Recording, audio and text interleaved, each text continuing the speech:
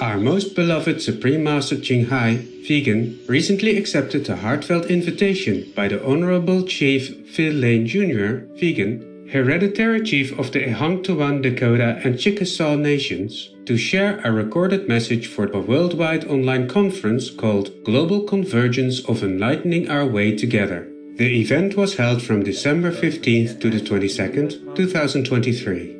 In his invitation letter to Master, the Honorable Chief Phil Lane Jr. stated, The Global Convergence is dedicated to uniting diverse voices and perspectives to foster unity, understanding, and a shared commitment to the well being of Mother Earth and all her children. Your spiritual insights and prayers would resonate deeply with the participants, creating a profound connection and shared purpose. Your participation in these sacred prayers will undoubtedly leave a lasting impact on all those in attendance, inspiring them to continue their efforts toward a harmonious and sustainable world.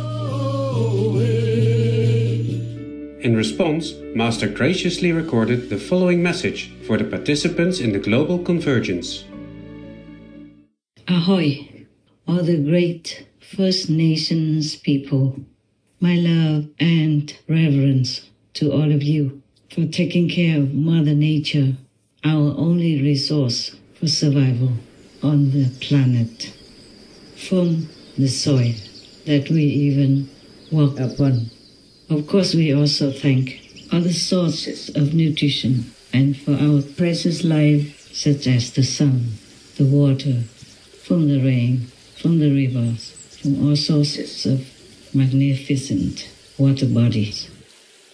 I thank you for still remembering the roots of your First Nations, your traditions, your gratitude toward Mother Earth and all other beings that you are very much familiar with, as if they are your family, your family in the whole world.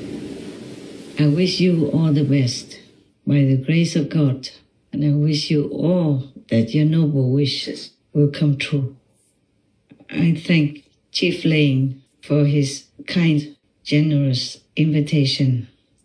I do think of all of you a lot and often think of how you fare, how God takes care of you, how Mother Nature and Mother Earth offer you all love, good advice, and good necessities for your more comfortable life.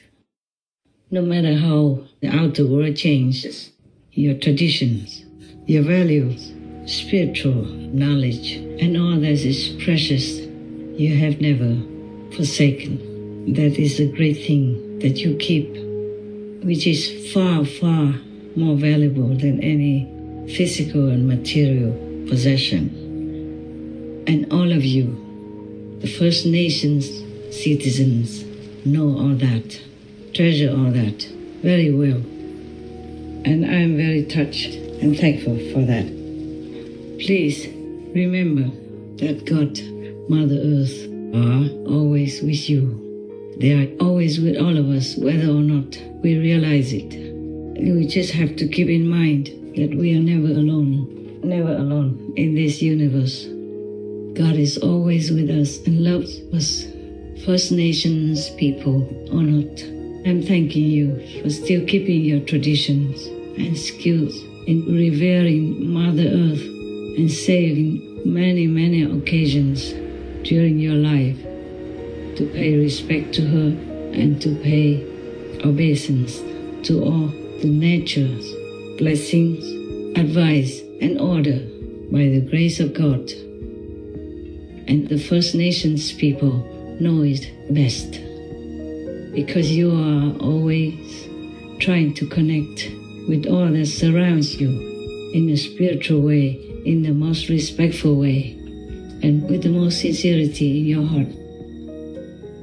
As per the invitation from Chief Lane, which I am very honored to accept, I herewith just contribute a humble respect, a humble gratitude to all of you for always remembering to be grateful for what we have from Mother Nature by the grace of God Almighty. And by doing your ceremony and having your gathering of gratitude and festivity, you also thereby remind the whole world how to conduct our life according to virtues, goodness, gratitude, humility, and above all, love for God.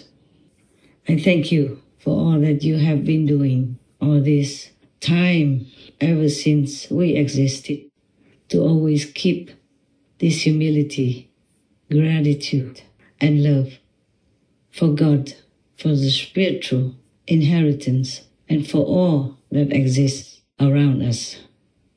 May your life be always filled with this love and blessing, and all that is noble, spiritual, and above all mundane level of consciousness and ambition. I can only say, all my love for you, all my genuine respect for you, and all my heart connection with you.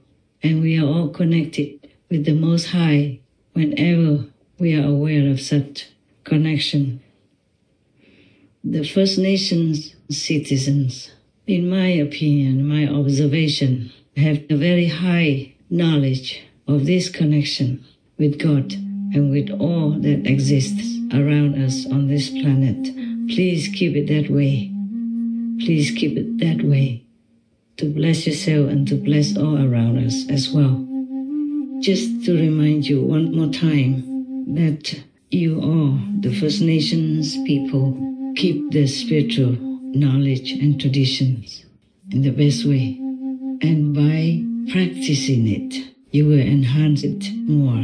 You will enhance this knowledge in your memory and for the next generations to come. By practicing, it will make us a master of any domain, especially in the spiritual domain. At this time of our urgent situation, our planet Earth is truly in peril. So we should try to be more diligent in spiritual practice and adhere to the vegan diet in order to keep the compassion and loving kindness to all who live together with us on this precious planet Earth. May God bless you for that. Amen.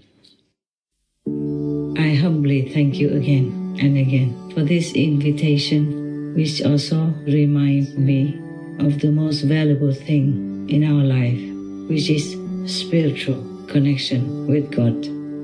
I wish you all success for this wonderful, noble gathering, and furthermore, in anything else valuable spiritually in your life, and to pass it on to the next generations. May the most beloved God bless you and all your nations. May God also bestow love, blessing, and forgiveness to all of us. Amen. Amen. Amen.